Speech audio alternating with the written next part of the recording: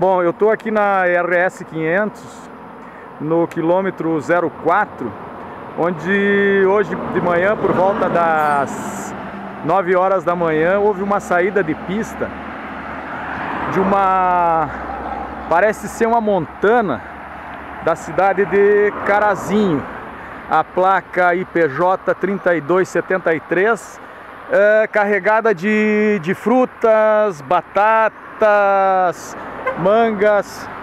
Então, assim, acredita-se que ela vindo da direção Trevo Constantina.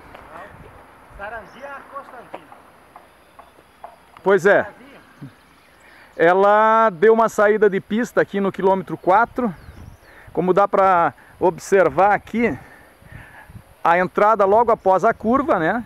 Tem as marcas do, do pneu aqui já, quando quando saiu da curva, entrou deslizando para o gramado, não sabe se, se houve frenagens, alguma coisa, e veio em direção a uma árvore que se chama pinheiro, é pinheiro americano.